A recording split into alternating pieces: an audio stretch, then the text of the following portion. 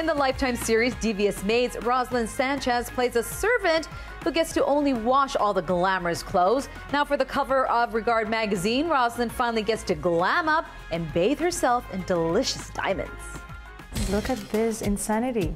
It's all mine. I wish. I was a security guard looking at me like, yeah, try. Yes, yes. With over $6 million worth of jewelry and clothes by designer Rafael Cennamo, Roselyn made this photo shoot one to remember.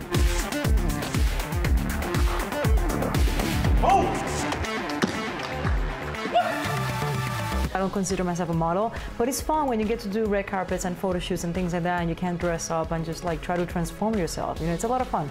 Roselyn has been getting a lot of buzz for her show, Devious Maids. From actor turned producer Eva Longoria and the minds behind Desperate Housewives, the show focuses on a cast of maids working for the wealthiest and most powerful families in Beverly Hills. Every part is written so beautifully, but when I read the script, and I saw Carmen, I was like, oh no, I get her. I get her because I sing and I know what it is to leave your country and move to the States to be able to become a performer, you know, so it, it spoke to me.